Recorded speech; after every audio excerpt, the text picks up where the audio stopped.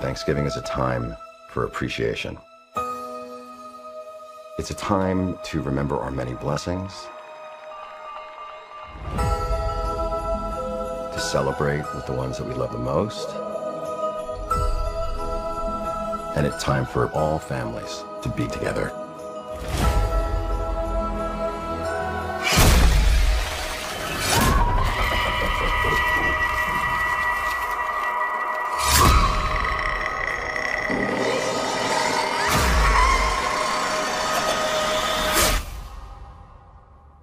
Let's eat.